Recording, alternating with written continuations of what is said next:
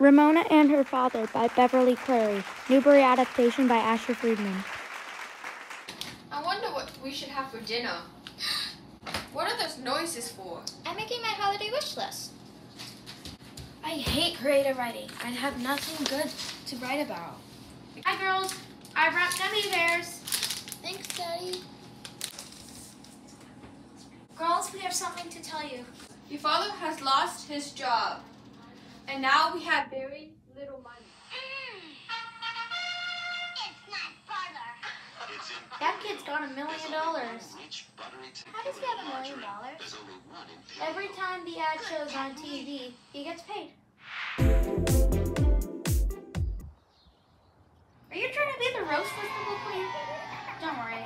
I'll, I'll help cut it out. No, it's don't coming off. It's okay. I'll help you, Ramona. Thanks, Daddy. Look what Howie's grandmother gave us. Wow, what a huge pumpkin. Ramona and I can carve it. Ugh, I hate creative writing. I'll go check on Beezus. That's the best jack o' lantern ever. Especially because it was made by you, Daddy. Backhat,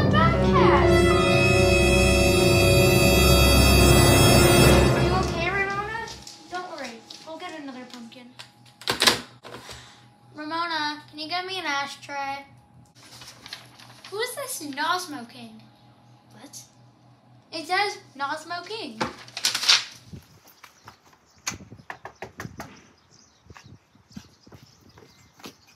I'm sorry, I'm late. Why the long face? I thought you abandoned me. Oh, why would I do such a thing like that? Mom, can you make me a sheep co- uh, costume? I'm gonna be able to play.